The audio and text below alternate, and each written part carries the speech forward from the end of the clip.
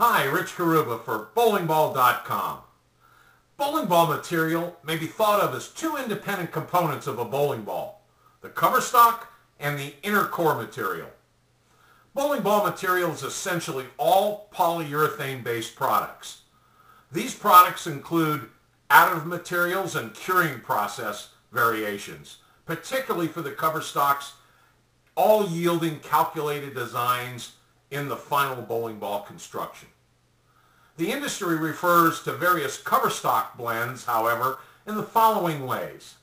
First, plastic. Next, urethane. Reactive resin, hybrid reactive, and particle materials.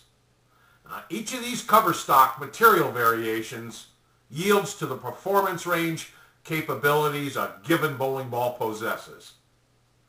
Typically, the plastic and urethane cover stocks are found in entry performance bowling balls, and they're available in 16 pound weights down to 10 pound weights. The reactive resin cover stocks are found in the general performance range, and that's from 12 to 16 pounds in weight. And hybrid or particle cover stocks are found in the pro performance range bowling balls, and they're from 12 to 16 pounds in weight.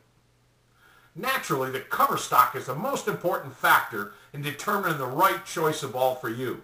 But don't overlook the importance of inner core designs. Manufacturers will design uh, inner cores made of urethane and polymer-based products in varying density ranges, shapes, and sizes so the end result will influence the overall ball motion very predictably as the ball travels down the lane. Now, please, use our bowling ball selector and perfect scale features to help you find the right ball of choice when you are ready for your selection process. Also, you can reference the technological information on our site, and you might even be able to view video clips demonstrating new balls rolling down our private test facility lanes. And when you're ready to place your order, just follow the simple online instructions or give us a call. Our store is always open and we're ready to serve.